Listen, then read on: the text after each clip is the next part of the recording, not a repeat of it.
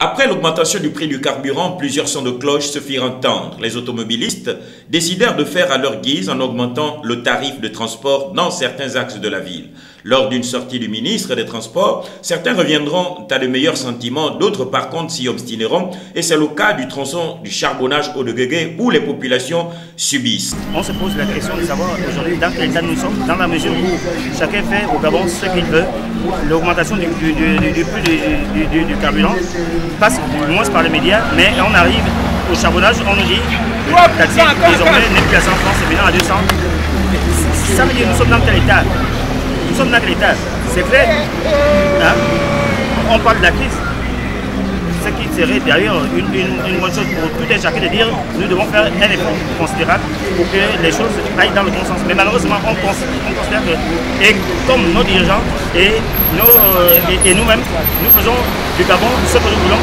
Malheureusement, il peut arriver un moment où on va exprimer le ras-le-bol parce que la, minorité est, dans une, pauvreté qui ne dit pas, qui ne dit pas Les opérateurs, dont les automobilistes, par la voix de leurs représentants, réagissent. Il n'y a eu aucune augmentation de tarif, monsieur effectivement, le ministre des Transports a de promotion du transport. Il n'y a pas que dans, dans la zone où on est Mais on dort là-bas, c'est 200.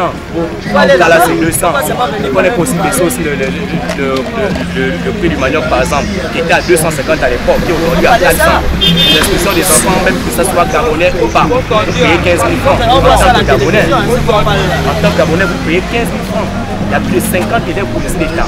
Gabonais ou pas, vous allez Sénégal qui transforment même plus leur bourse. On les fait payer 15 francs. Pourquoi tout cet argent On se demande. Il n'y a pas de dans, dans le transport. Il y a une augmentation partout. De manière tout est avant 250.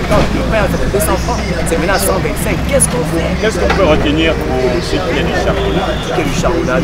Retenez qu'au charbonnage, il y a eu euh, une réunion de l'Assemblée générale côté du premier arrondissement, l'année premier arrondissement alors. La décision a été prise au de Après la mairie, 200.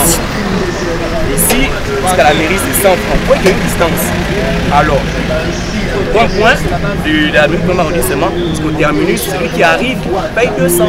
Alors, derrière la prison, le charbonnage derrière la prison, 100 francs. Nous venons là d'entendre quelques phrases, mais surtout pas convaincantes, bien qu'une assemblée générale ait été organisée à la mairie du premier arrondissement à cet effet en présence d'un des maires.